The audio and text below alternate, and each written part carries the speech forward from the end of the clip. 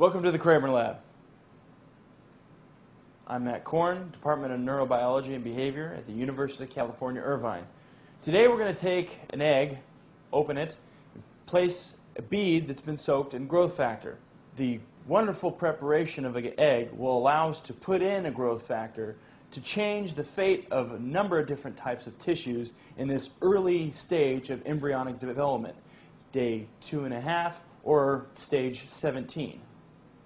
Okay, so we're here at, at the scope here. I've got my eggs and all my tools.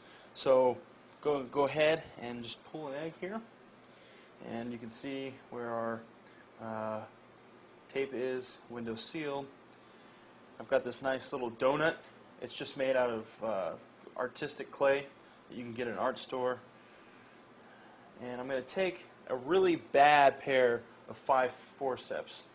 These have been around for a long time. The tips are pretty dull, but they work great to just lift up the tape just enough so that window comes up. I can put those down.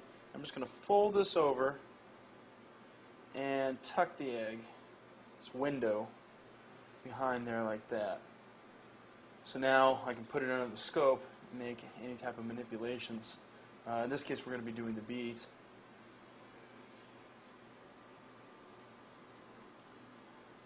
And I'm going to go ahead and grab my India ink. Right now, without the India ink, you can see that there's a bit of a embryo disc right here.